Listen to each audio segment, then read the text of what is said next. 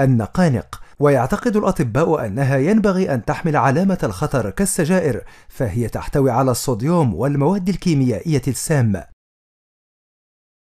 في المرتبة السابعة منتجات الحليب الكامل الدسم فهرمون النمو البقري يسبب التهاب المفاصل والبدانة في الطفولة والصداع النصفي.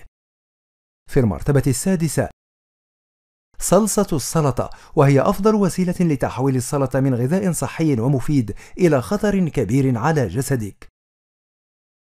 في المرتبة الخامسة الدهون المشبعة وغير المشبعة وتؤدي إلى الإصابة بكوليسترول القلب والسكتة الدماغية. في المرتبة الرابعة المحليات الصناعية فهي ليست آمنة كما يعتقد البعض بل تمثل خطرا كبيرا على مستخدميها وذلك لأنها ترتبط بأمراض القلب وتحتوي على أخطر مادة على كوكب الأرض. في المرتبة الثالثة اللحوم المصنعة كاللانشون وغيره وتحتوي الأطعمة المصنعة على النترات التي تعتبر قنبلة داخل جسدك كما تحتوي اللحوم المصنعة على الصوديوم والمواد الحافظة وتساهم في أمراض القلب والسرطان. في المرتبة الثانية. صلصة الطماطم والتي تحتوي على سكر اللاكتوز الذي يسبب الإصابة بالسكري وأمراض القلب وتسوس الأسنان.